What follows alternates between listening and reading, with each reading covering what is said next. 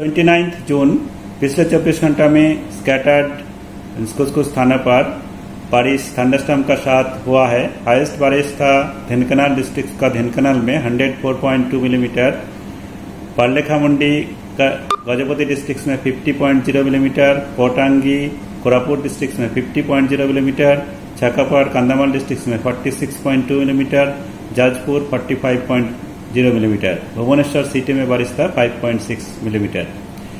और अभी सीजनल जो स्थिति है टोटल बारिश फ़र्स्ट जून से 29 जून तक हुआ है 125.1 मिलीमीटर 208.2 मिलीमीटर बारिश इस समय तक स्वाभाविक होता है 40 परसेंट कम हुआ है।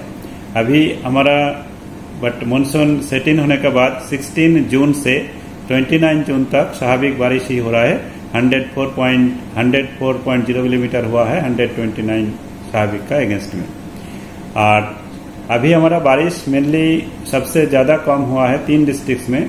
केंद्रपड़ा, इसमें मोर देन 60 परसेंट एफिशियंस है।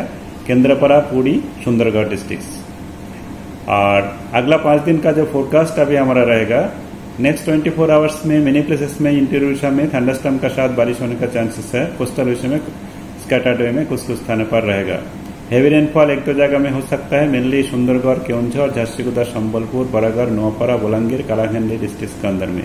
और थंडरस्टॉर्म लाइटनिंग आइसोलेटेड वे में होने का चांसेस है मोस्ट ऑफ़ द डिस्ट्रिक्ट में फिर कल भी हमारा मेनी प्लेसेस में बारिश रहेगा, एक दो जगह में हेवी रेनफॉल हो सकता है।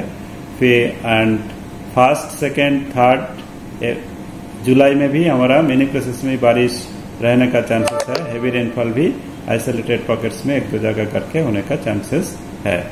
भुवनेश्वर सिटी में जनरली क्लाउड स्काई रहेगा। कुछ कुछ एरिया में हल्का बारिश भी होने का चांसेस है।